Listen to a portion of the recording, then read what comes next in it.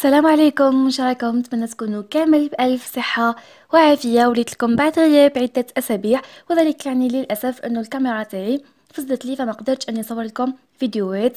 توحشتكم بزاف وليت لكم إن شاء الله بوصفات جديدة سهلة بسيطة. وراح نديها لكم بكميه ولا يعني بفيديوهات خاصين بالحلويات لأنه نعرفوا الصيف الأفراح والمناسبات والأعراس. ربي يدوم أفراحنا. وراح ندير لكم اليوم بالحلوى آه، الرخامية. آه، حلوى يعني بزاف بنينة رائعة شكلا ومذاقا. حين نبداو بعجينة الصابلي الخاصة بهذه الحلوى اللي حين نحتاج فيها إلى 200 آه، غرام من الزبدة طرية بدرجة حرارة الغرفة. أيضا نحتاج إلى أربعة ملاعق من السكر الناعم.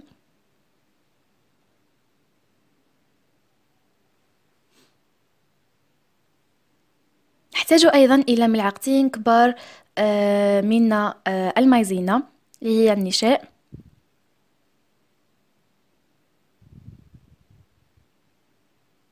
أيضا حنستعمل عطر الفانيليا. تقدروا تستبدلوا يعني بمبشور الليمون.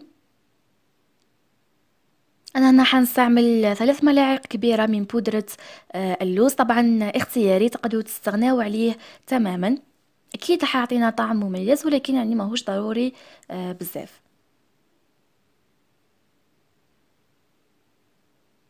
راح ندير بيضة كاملة. كل المقادير هذو راح نديرهم آه، بال batteur باش تولي عندي une آه، كريم آه، باش من بعد يعني كي نحط زبدة تجيني عجينة صابلي بزاف خفيفة ويعني حتى الكمية تكون كمية مليحة.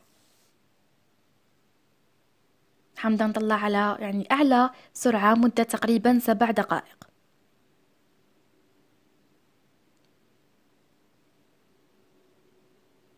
بعد ما تبلي لي كريمه كما راكم تشوفوا. في هذه المرحلة حنجيب كمية آه الفرينه المنخوله كما راكم تشوفوا. هذه يعني آه فرينة منخوله آه والكمية هي دائما ضعف كمية الزبده تقريبا.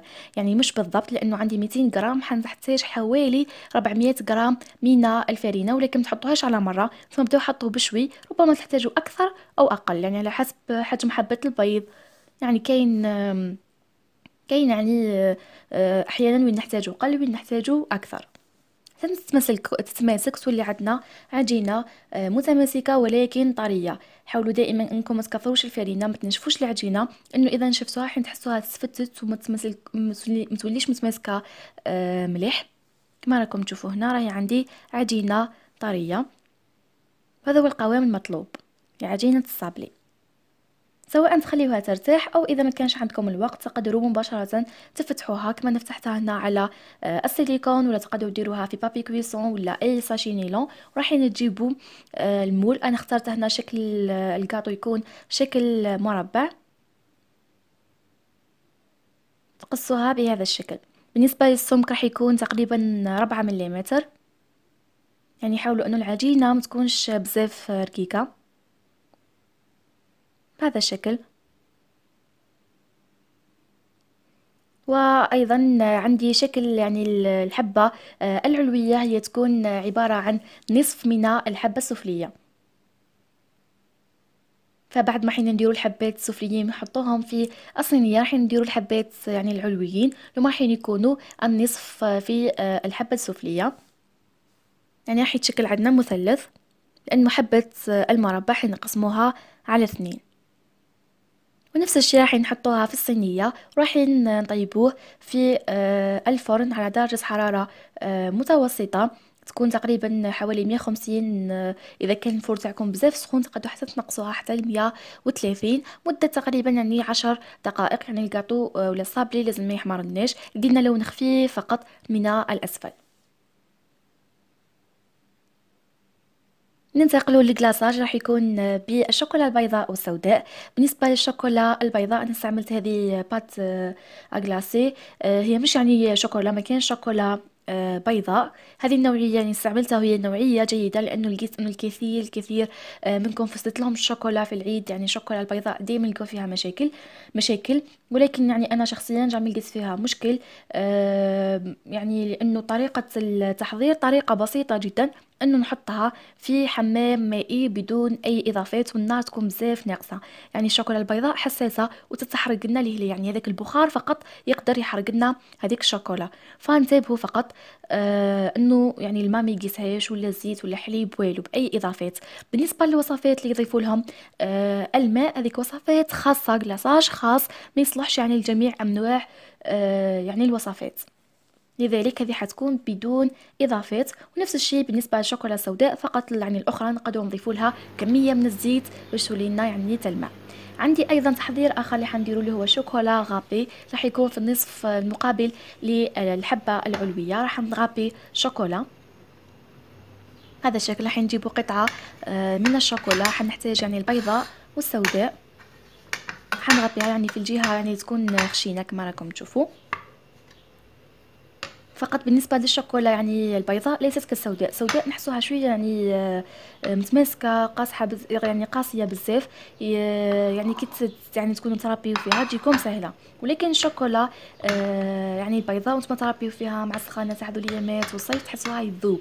لذلك قبل ما تستعملوها تخليوها يعني في الثلاجة فيما بعد تستعملوها باش تجيكم سهلة وما تكسر لكمش ما تذوبلكمش يعني في اليد لأنه يعني الحرارة تحتملهاش بزاف. والكميه على حسب يعني كمية الصابلي اللي آه تستعملوها. ما كانش كمية يعني محدودة لهذه الشوكولا غابه الاخ تاعكم en couleur. والآن حنروح ل glaçage الرخامي حنخدمو. كما راكم تشوفوا هذه الشوكولا آه البيضاء. هذا هو شكلها يعني راهي ناجحة. مئة بالمئة. عندي أيضا كمية من الشوكولا السوداء كما قلت لكم ولكن كمية تكون يعني قليلة يعني تكون تقريبا النصف في الشوكولا آه البيضاء لأنه عندي كمية قليلة. ذوبتها في ال micro-ondes وزدت لها ملعقة زيت. راح نجيب صينية آه ولا تجيبوا بلاطو ولا تجيبوا آه ولا تجيبوا صحن تاع inox. يعني من المستحسن إنه يكون آه inox إذا توفر عندكم. راح تحطوا فوقه كمية من الشوكولا البيضاء بهذا الشكل. فيما بعد راح نديرو خطوط من الشوكولا السوداء وليس العكس. يعني حنا نحوسو كلاصاج رخامي باش يصلح لكم لازم كمية الشوكولا البيضاء تكون يعني كمية كبيرة بزاف على كمية الشوكولا السوداء لأنه اللون يعني الأسود يغلب دائما على اللون الأبيض لذلك نحطو فقط خطوط. كما راكم تشوفوا بشكل عشوائي فقط راح نجيب سكين ونحاول أني ندير آه، هذو التموجات بهذا الشكل.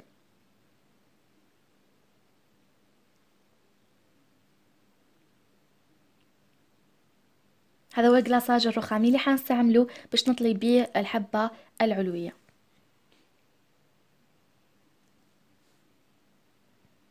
هنا كنت حضرت يعني آه، الكادو بعد آه، ما طابلي وخليته يبرد. كما راكم تشوفوا هذا هو شكله ما ديناش لون يعني أحمر ورايحين نحكموا آه، هذا المثلث. وبهذه الطريقة راح نحطوه في الوسط نحاولوا ان ندخلوه. فيما بعد رايحين نجبدوه الحبة بهذه الطريقة. راح تحصلوا على جلاصاج ولا أروع يجي رخامي عشوائي آه بزاف هايل. وحسيت يعني بزاف سهل للمبتدئات إنهم يحصلوا على جلاصاج شوكولا ولا أروع ولا أبسط. يعني شوفوا كل مرة تحصلوا على آه شكل آه يعني رائع. أيضا كمية الشوكولا يعني حتى ولا كانت عندكم كمية كبيرة من آه، يعني الكاطو مش راح يعني تحتاجوا إلى كمية كبيرة من الشوكولا لأنه أصلا راح نستعملوا هذه الكمية في ربع حبة فقط. يعني فكل مرة كنت ندخل كنت نحصل على شكل مختلف في يعني رائع.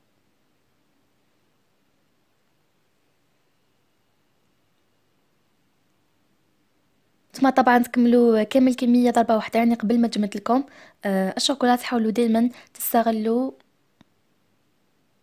يعني الوقت بالشكل الجيد باش يعني نخلصوا الوصفة في أقل فترة ممكنة. بالنسبة فقط راح يسألوني يعني كي يولي عندنا الكلاصاج بهذا الشكل يعني بعد ما يفسد لنا ويتخلط لنا وكي نحطوا فيه الحبات من يجينا الشكل مليح راح نتعاودوا نفس الطريقة تحطوا كمية من الشوكولا البيضاء طبعا أكبر من الكمية اللي حطيتها أنكم تعاودوا ديروا طبقة أخرى من الشوكولا البيضاء وزاد تحطوا لها خطوط قليلة هذه المرة من الشوكولا السوداء كل مرة تنقصوا الخطوط لأنه تكون عندنا كمية من الشوكولا السوداء آه كما راهي في الأسفل. كما راكم تشوفوا فيها في الأسفل. فتحطوا غير حاجة قليلة وتوليو ديروا خطوط زيدوا تحكموا يعني حبيت آه، آه، الكاطو وزيدوا تعقبوها بنفس الطريقة. أيضا الملاحظه الثانية ولا السؤال الثاني اللي راح تطرحوه إذا جم دسنا الشوكولا واش حين نديرو؟ طبعا ماناش حين نعاودو من جديد راح تحطوا فقط هذه الصينية في حمام مائي في هذاك البخار راح الشوكولا تعاود تسيح وتكملوا الكلاصاج بشكل عادي جدا. فيما بعد نصف نصف ولا يعني الحبة السفليه راح تدهنوها بلا باتا تارتيني. راح تلصقوا لها هذاك المثلث والجهة الأخرى راح نديروها بالشوكولا غابي آه، يعني سواء كانت البيضاء أو السوداء. تكون يعني وصفتنا جاهزة والحلوى يعني راهي جاهزة. هذا هو شكلها يعني النهائي. شكلها بزاف رائع آه هايل. آه وصفة يعني سهلة وأيضا يعني تعمر العين يعني ما شاء الله. أي أسئلة عندكم آه على الوصفة خليوها لي في الكومنتير إن شاء الله نجاوب على كل أسئلتكم. هذا هو شكل الحبة يعني تكون بالشوكولا البيضاء والأخرى اللي تكون بالشوكولا السوداء سواء نديروهم في زوج ولا خيروا يعني اللي عجبتكم. ولا أروع كلاساج رائع نتمنى أنكم تجربوا الوصفة وتعجبكم. إذا كان هذا هو فيديو نهار اليوم وكان كانت هذه وصفتنا لنهار اليوم. نتمنى أنها تكون عودة موفقة. أيضا نتمنى أني نفيدكم بوصفات أخرى في الأيام القادمة. دمتم أوفياء دائما وإلى اللقاء.